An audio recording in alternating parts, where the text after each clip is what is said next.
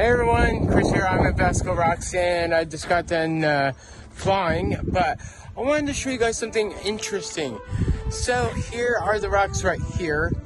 So this is for Airwolf fans out there. We shot the season pilot right there. Uh, Red Star Control.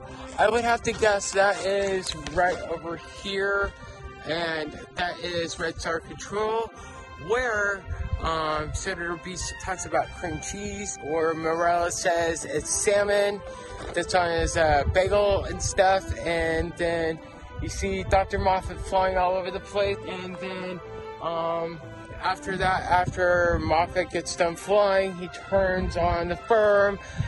But right there, that building right there is where they shot uh, Red Star Control at and see it's facing the rocks right here. So those of you that are big airwolf fans um, i just wanted to let you guys know about that. And not only that they did shoot the horn of plenty here um, where uh, Hawke turns on the firm where he gets mind controlled by john and uh, he wants airwolf. And so basically kate dom and Hawker out here. Kate sneaks out of Airwolf, and what does she do? What does Jean Bruce Scott's character Kate do? She sneaks in and she gets Hawke and she rescues Dom and um, basically Hawke blows uh, the rock to say Kingdom Come, but there's no entrance through the rock itself. It's uh, all rock, no secret entrance. Let me know if you guys ever been here. And uh, like I said, Red Star Control right over there. So I wanted to talk about history a little bit. So give your thoughts on Airwolf. What is your uh, favorite episode out there and what would you like to see out of a location? Where would you like some Airwolf fans to go and see the location?